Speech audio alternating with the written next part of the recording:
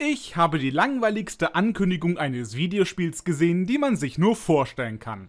Das hier wird kein sonderlich großes Ding und ist eigentlich auch nichts sonderlich Wichtiges, aber ich fand's lustig und ich wollte das irgendwie loswerden. Und zwar, ich habe diese ganzen Summer Games Non-E3, E3-Dinge kaum verfolgt. Ich habe das von Capcom gesehen, ich habe das von Sonic gesehen, aber sonst ließ ich das größtenteils an mir vorbeigehen. We hope you enjoy this exclusive first look.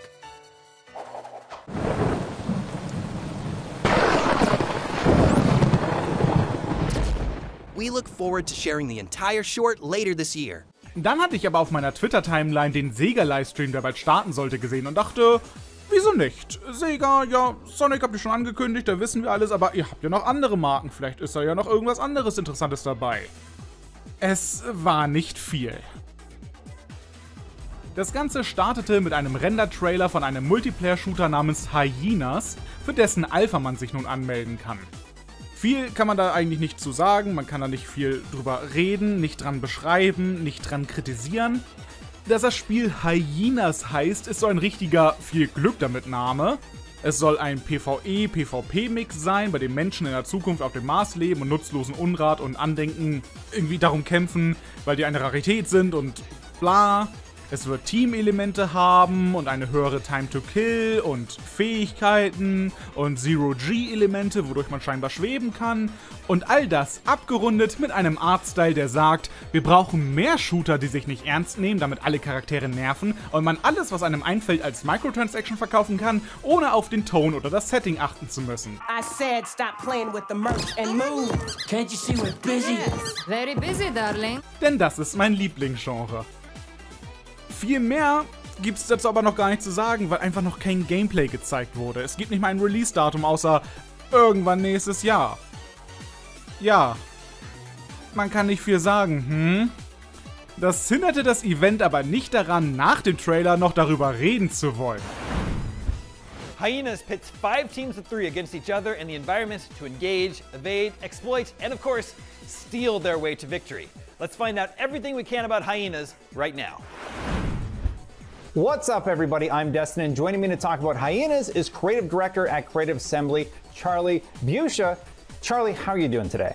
Als erstes kam der Creative Director dran, der im Grunde das erklärte, was ich auch gerade in wenigen Sekunden zusammengefasst hatte, über das Setting des Spiels, über den Artstyle des Spiels, äh, über die Lore des Spiels, aber wollte eigentlich auch noch nicht genug sagen. Währenddessen lief der Trailer nochmal im Hintergrund. Gelegentlich hat man auch Concept Art gezeigt, weil einfach noch kein Gameplay existiert und ähm, äh, ja, äh, ist, ein, ist ein Videospiel. Wir können uns zwar noch nicht vorstellen, wie das Gameplay repräsentiert wird, was für ein Gefühl es dir gibt, was für eine Spielgeschwindigkeit es haben wird, wie ein Match ablaufen wird, wie der Kampf überhaupt aussieht. Und je länger der Typ geredet hatte, desto mehr dachte ich, ja, gut, zeigt bitte das nächste Spiel. Ich habe auf ein Sega-Event geklickt, zeigt mir ein paar coole Sega-Projekte. Und es ging einfach weiter und weiter. Some people might call it PvVP, but we call it PvEEEVP. Three times the gameplay. Well, that sounds really, really cool. Und es ging einfach immer und immer weiter. Immer und immer weiter. How would you describe the look that you've gone for? Why did you go for that look? And what tone are you trying to set? Tell me a little bit about this world. I'm really curious. Is there a single player Well, I have to ask about the characters. There's a lot of very colorful characters in this game. Do they have any unique have abilities? How did you invent these characters' personalities? Mein I think a lot of characters Quinn nowadays in games have Die become fan favorites. Through their um. personalities. Through Und endlich waren wir fertig. I said stop playing Oder auch nicht. merch and move. Stattdessen zeigt uns nun der Producer des Spiels den Trailer nochmal. Aber nee, nee, nicht einfach nur den Trailer an sich, das wäre ja langweilig, sondern er macht eine Trailer-Analyse. Hi, I'm David Nicholson, executive producer on Hyenas at Creative Assembly. This is the IGN Rewind Theatre for the Hyenas official announced trailer. Eine eigene Trailer-Analyse von einem vorgerenderten Trailer, der seit ein paar Minuten existiert. Und meine Güte, er erklärt einfach alles. Immer wenn eine Figur gezeigt wird, Standbild, erklären, dass man nun eine Person sieht. Hier ist der Rücken von jemandem ohne Gesicht. Mal kurz auf die Schuhe zoomen, ganz wichtig. Hier ist noch ein Bild von einer Person. Hier ist noch ein Bild von einer Person. Hier ist das Firmenlogo einer fiktionalen Firma. Das ist alles sehr wichtig und sehr interessant für ein Franchise, das noch nicht existiert und all das noch nichts bedeutet.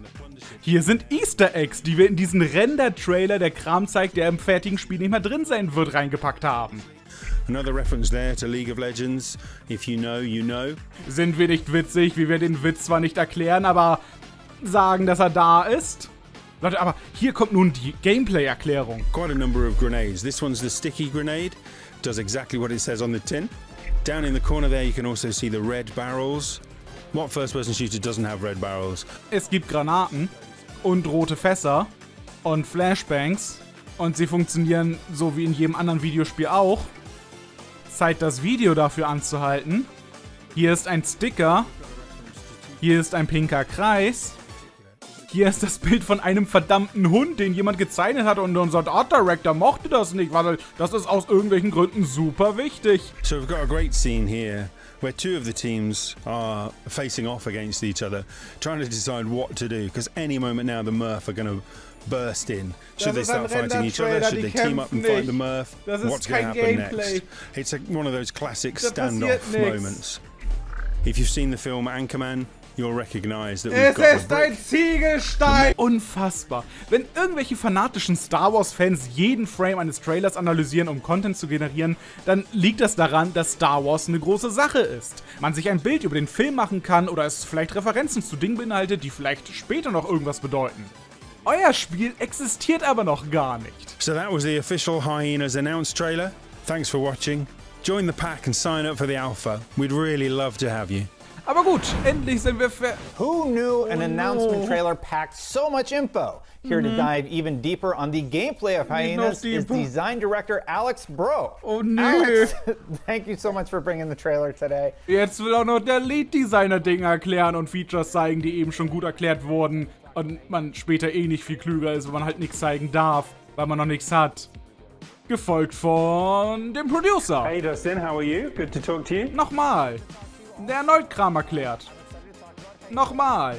Und nach ganzen 40 Minuten endete einfach das Event. Das war's. Das war die große Sega-Ankündigungsshow. Amazing. Ich will nicht zu viel meckern. Also, ich hab's gemacht, aber ich will ja nicht zu viel meckern. Aber Sega ist jetzt nicht dafür bekannt, viele Shooter rauszuhauen. Und wenn, dann auch selten wirklich gute Shooter. Aber es ist zumindest kein Publisher, wo du denkst, ja, die bringen die Shooter raus. Niemand, wirklich niemand wird auf dieses Event geklickt haben, um zu sagen, geil, hoffentlich wird ein neuer Multiplayer-Shooter mit einem wacky Artstyle angekündigt. Niemand hat deswegen drauf geklickt. Dass die Leute enttäuscht waren und vor allem enttäuscht waren, dass es immer und immer und immer weiterging. Es, es war zu erwarten, oder? Der Chat war schon nach dem Trailer genervt, die Kommentare sind negativ, der Subreddit, der natürlich sofort existieren musste, bestand nach wenigen Minuten aus Let's fucking go und ihr habt Italien vergessen. Aber ganz ehrlich, was soll's? Es ist ein Multiplayer-Shooter und auch wenn er sehr üble wird nach drei Wochen gecancelt Vibes abgegeben hat, wollte ich mich für die Alpha anmelden. Und ähm, nachdem ich mich erst in meinen Creative Assembly Account einloggen sollte, den ich auch garantiert habe, oder mich einfach mit Steam anmelde, Leute, es ist wirklich so. Hier, ich kann hier reinklicken, kann hier reinklicken. Ich kann. Ich. Ich. Ich, ich kann das markieren. Okay, auch nicht immer. Die haben vergessen, dass man's. Man konnte seine E-Mail-Adresse nicht eintippen. Es ging nicht. Auch mit Tab nicht. Da kam man nicht in dieses Feld rein. Es ging einfach nicht. Ja, Videospiele. Ein gutes Hobby. Mittlerweile sind auf dem Reddit ganze 100 mild interessierte Aasfresser eingetrudelt. Mittlerweile hat Fabian Döhler höchstpersönlich die Website gefixt, damit man sich auf einer Seite, die ausschließlich dafür dient, sich anzumelden, auch anmelden kann. Mittlerweile besteht der Reddit trotzdem nur daraus, dass nichts funktioniert. Ganz großes Kino. Es tut mir ein bisschen leid für die Entwickler, sowohl für das Team an sich als auch für die, die man vorschicken musste, um um den heißen Brei reden zu dürfen. Die machen sicher alle eine gute Arbeit und wollten sicher alles, nur nicht, dass das Spiel gezeigt werden muss, bevor überhaupt etwas gezeigt werden kann. Mit wie vielen Bajonetten hat Sega eigentlich erzwungen, dass eine Präsentation mit nichts gefüllt wird? Nachdem sie gerade erst auf die Schnauze gefallen sind mit einem Sonic, von dem sie nichts zeigen konnten. Weil, ja, die Welt wäre nun keine schlechtere gewesen, hätte man sich mit diesem Event noch ein paar Monate Zeit gelassen.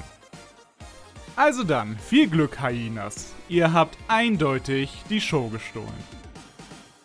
Dies hier gerade war eher so ein kleineres Video zu einem eher kleineren Thema. Wenn ihr mehr solcher Videos in dieser Art zu kleineren, weniger wichtigen Themen, alte, unveröffentlichte Videos oder Kram, der mich persönlich interessiert, sich aber nicht für ein richtiges Video lohnen würde, sehen wollt oder einfach nur neue Videos, bevor sie öffentlich sind, dann könnt ihr diese mittlerweile auf meinem Patreon finden. Dort veröffentliche ich für coole Supporter gelegentlich kleine Bonusvideos, die zwischen den richtigen, größeren Videos kommen. Falls ihr an dem, was ihr gerade gesehen habt oder ähnlichen also Interesse habt, dann, ne, Dankeschön für euren Support und so. Ich habe mich bisher immer zurückgehalten, den Patreon groß zu bewerben oder überhaupt zu erwähnen, dass ich seit einigen Jahren schon einen habe. Wodurch mich dann aber immer wieder Leute angesprochen haben, dass sie mich schon längst supportet hätten, hätte ich mal was gesagt. Also, ja, sag ich es einfach mal hier. Ansonsten, bis zum nächsten Video. Oder Stream. Oder was auch immer. Wir sehen uns. Ciao.